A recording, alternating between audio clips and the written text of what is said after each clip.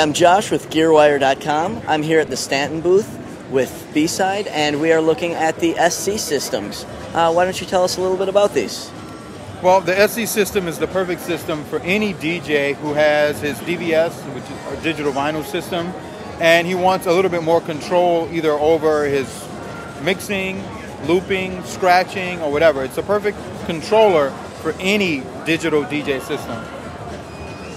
All right, and um, yeah, I see these are all passive systems. Are there any new features uh, just on the SC systems?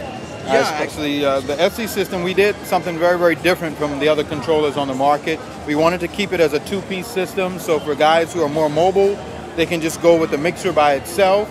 It does have uh, analog and digital mixing. I've got the inputs for RCA, phono line switchable. I also have outputs quarter inch and RCA. And I even have a microphone and a foot switch input over here, which is very unique. Uh, it's the only system that actually gives you the ability to use a foot switch, which you can actually use for effects. You can trigger the decks with it. You can do whatever you want. Uh, the beauty of the unit is we have presets that'll come out the box, so you can actually just hit the preset for your software. So you don't actually have to go through the trouble of actually MIDI learning every uh, feature that you would want. You just hit the preset for your software and it'll remap the entire mixer out. And we have something called scribble strips, which is very important. It gives you that feedback or that messaging information letting you know what each channel is doing or what you're doing with the encoders or any other fader or knob on the mixer. The same thing goes with the deck here. You can use the deck by itself or you can use it with the mixer. The deck here has the same scribble strips and it also has four rotary encoders, but we actually have a high torque, a full high torque platter that is manually adjustable.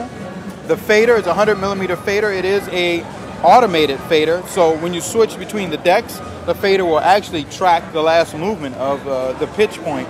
So really, really easy for a DJ to just walk up and start doing what they're used to.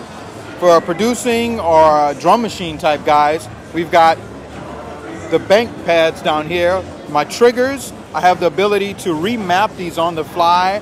Uh, I can do a preset out the box, or I can go in and do some really low level remapping of the entire unit. And it's the only, only system out there that allows you to remap or recode any configuration you want. Every button, every knob, every LED, every screen, you can go in and program it to say exactly what you want to say and do what you want to do. All right, that is awesome. Thank you very much. And we'll be back with more from NAMM 2008.